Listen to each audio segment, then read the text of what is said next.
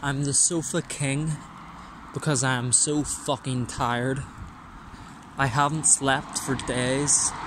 I'm in a daze and wired. I arrive late to work. You know, I could get fired. But those who find the way, they should be admired.